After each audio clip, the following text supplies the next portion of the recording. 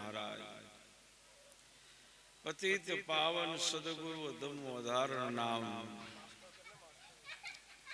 વા સદગુરુ કો ગાઈએ પૂરણ હો સબ કામ. એક, હા, ભાઈ કેમેરો થોડો આ સાઈડ પર મૂકી દો આમથી લેશે. ચાલશે વચ્ચે વચ્ચે સત્સંગ ભજન કીર્તનનો ભાવ પ્રગટ કર્યો છે ત્યારે. ભક્ત શ્રીએ ગુરુ ઘરથી ગુરુ સંતોને તેડાવી અને સત્સંગ ભાવે. સાહેબ, સદગુરુ પરમાત્માના આપણે બધા જ હળીમળી સદગુરુ સાહેબ ધણીના ગુણ ગઈ લઈશું. જેની અંદર આ માનવ જીવનનું, આત્માનું મનુષ્ય અવતારનું કલ્યાણ સમાયેલું છે. એવા અવસરે સર્વે સંત મહંત ભક્તજન ભાઈ બહેન બાળ ગોપાળ. બાબરી પ્રસંગ બાર વાગ્યાનો હતો પણ એક સવા એક નો સમય થઈ જતા પહેલો એ વિધિ વિધાન આપણે કરી લીધા. સત્સંગમાં આપણે હજુ મોડા નથી, બે વાગ્યાનો સમય છે એટલે ચિંતા નથી. ભોજન પ્રસાદની ચિંતા નહીં ત્રણ વાગ્યા સુધી. માટે હોના ઘેરથી તો પાકું કરીને આવ્યા જશે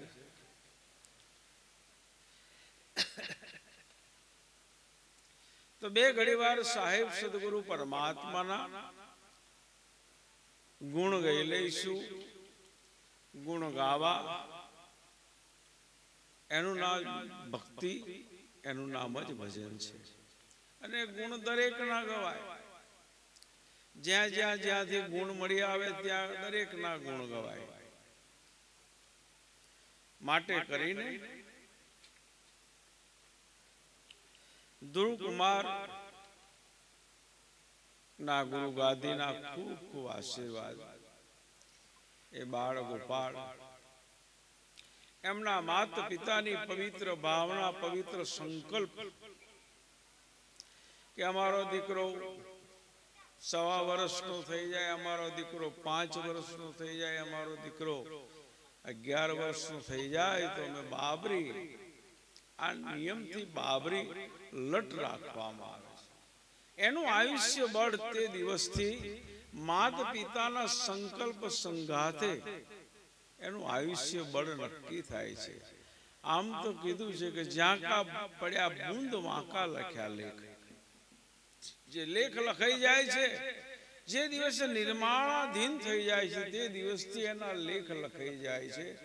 એ તો તાર પછી કઈ વિધિ વિધાનના જે કંઈક સંસારમાં રિવાજો ચાલ્યા છે તે છઠ્ઠીના લેખ ને જે કંઈક લખતા હશે, જે વિધિ વિધાન કરતા હશે તે પણ સાહેબ કે છે કે ભાઈ આયુષ્ય બળ સદગુરુ પરમાત્માના દરબારમાં જે દિવસથી સદગુરુ પરમાત્માની કૃપા થઈ જાય છે તે દિવસથી આયુષ્ય બળ નક્કી થઈ જાય છે. કે આ જીવાત્મા મનુષ્ય અવતારમાં જાય છે ત્યારે એનું આયુષ્ય બળ પ્રારબ્ધના રૂપે તરત જ એને એ જીવાત્માને જીવન દોરી પર લખાઈ જાય છે.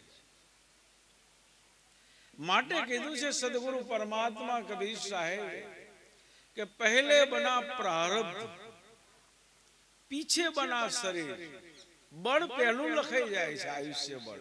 પછી શરીરની રચના થાય છે તો સારું જગત જાણે છે.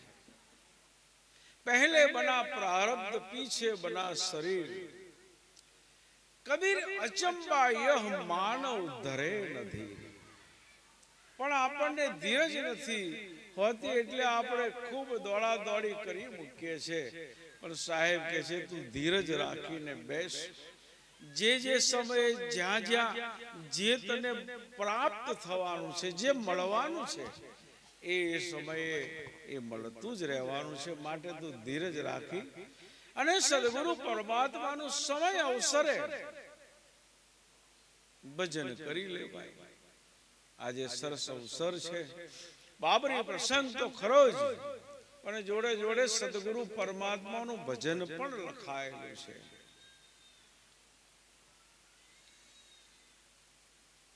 એક નાનો બાળ ગોપાળ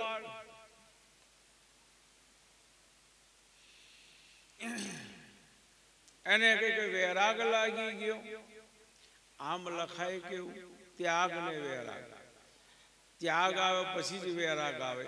એ પછી ઉલટું થઈ જાય છે. પહેલો વૈરાગ ચડે ને પછી જ ત્યાગની ભાવના જાગૃત થાય છે.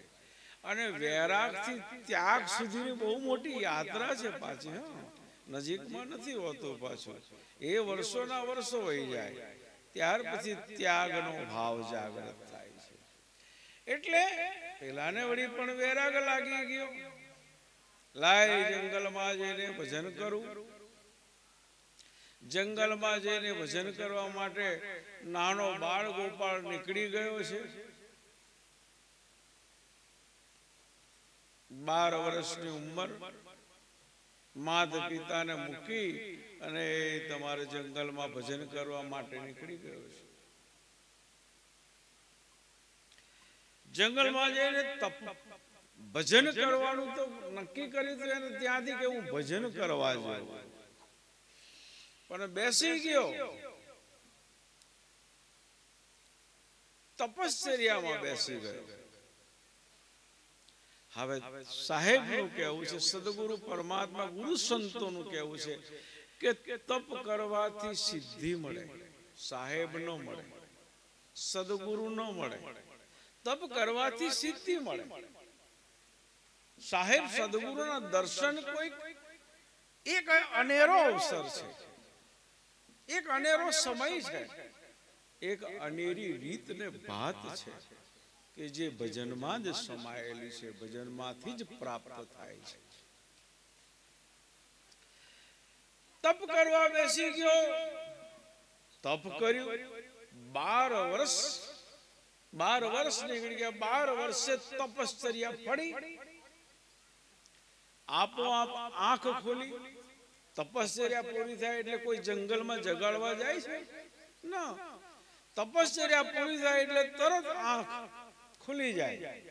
આપણે જેમ ઘરમાં ઊંઘી જઈએ આપણે, આ ઊંઘ પૂરી થાય એટલે કોઈ જગાડે કે ના જગાડે, આપણે તરત આપણી આંખ ખુલી જતી હોય છે. એમ તપશ્ચર્યાનો ભાવ પણ એટલો છે. કેટલા શ્વાસના સાધનો વાળા બહુ બિયા. મારો વાલો શ્વાસ બાસ કઈ ઊંચે ચડી ગયો. અને પાછો નીચે ના ઉતર્યો તો. અરે ભાઈ તું શ્વાસ ચડાઈને ભજનમાં લાગી જાય તારું ભજન પરિપૂર્ણ થઈ જાય.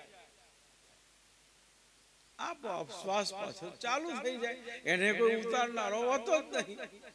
એને કઈ દોરી ભેરવવાની આવે શ્વાસમાં કે પાછો નીચે ખેંચી લાવે. નહીં, તમારું ભજન પૂરું થાય એટલે આપોઆપ શ્વાસની દોરી ચાલુ થાય. બાકી તો આ ભજન કરવા બેસી ગયા છે. બાર વર્ષના તપશ્ચર્યા બાદ આંખ આપોઆપ ખોલી. તમારે. ચકલો એ માળા બનાવી દીધેલા ઉપર, માથા પર.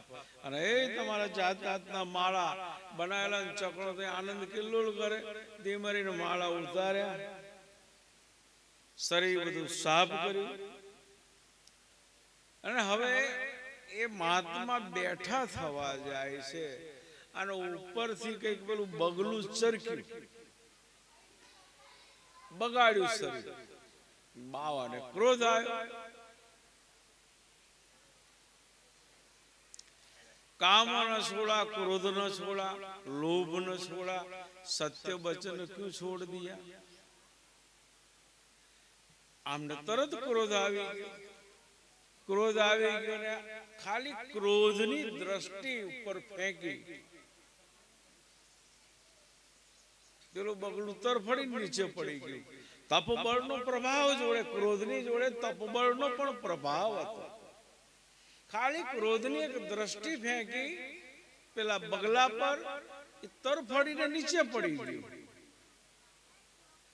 મહાત્માને બટન બેહી ગયું. આપણી પાસે તો બહુ જબરજસ્ત તપ છે, ખાલી ક્રોધની દ્રષ્ટિ ફેંકું તો પણ જનાવરો તડફડી નીચે પડે. ચાલો આપણે તપ બળનો પ્રભાવ બતાવવા સંસારમાં જઈએ. ત્યાંથી ઊભા થઈને સીધા સંસારમાં ચાલ્યા જાય છે.